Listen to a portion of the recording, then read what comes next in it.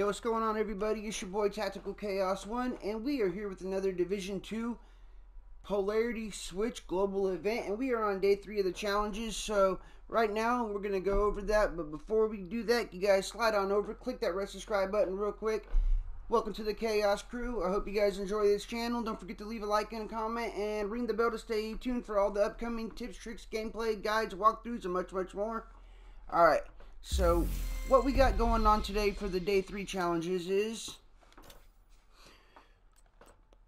we got eliminate polar, polarized hostiles after destroying all their weak points and armor times 50. Shock three hostiles of the same polarity at the same time. Take over a control point without shooting opposite polarities or leaving capture or leaving the capture radius. Complete any main mission on challenging difficulty or above. Eliminate positive polarity hostiles with a specialized weapon or specialization weapon and eliminate polarized hostiles with the melee attack. So for I forgot to do the numbers, so I'm sorry. For the shock 3 hostiles at the same same polarity, that's only one time. Take over a control point with the that's just once. Complete any main mission on difficulty or above, that's once. Sorry you guys, I forgot to do that and eliminate positive polarity hostiles with the specialization weapon times 25. Eliminate polarized hostiles with the melee attack times 10. So you guys want to do that if you guys have the Sweet Dream shotgun. That'll eliminate targets as long as they're not a leech right away with the melee. Or you guys could, if you guys got the Lady Death, that's another good weapon to start uh, doing melees with. It's not a one-hit melee, but it does have 500% melee damage, so it helps out a lot. And if you guys are lucky enough to have gotten the claws out named holster, put that with the Lady Death, and that is a thousand percent melee damage. Will definitely help you with eliminating polarized hostiles with the melee attack. Um, so then with the specialization weapon, you guys could always use tip of the spear gear set, or I mean, you could use whatever build you're using and just use a specialization weapon.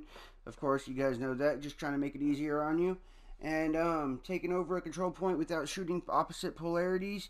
You just got to be on point with that. Make sure that you are direct, only shooting targets that are the same uh, color as your arm, as your arm polarity. Yeah, so then we'll get on to eliminate polarities tossals, destroying all their weak points. You could use the um, oxidizer chem launcher for that. If you guys want to destroy their armor without having any trouble, that helps out a lot. Or you guys could just aim for their weak points. Either way, that should help you guys get through that. For shocking three hostiles at the same time of the same polarity, look for a group that's the same polarity and put Creeping Death on your backpack and just hit them with the Scorpio shotgun and that should spread it.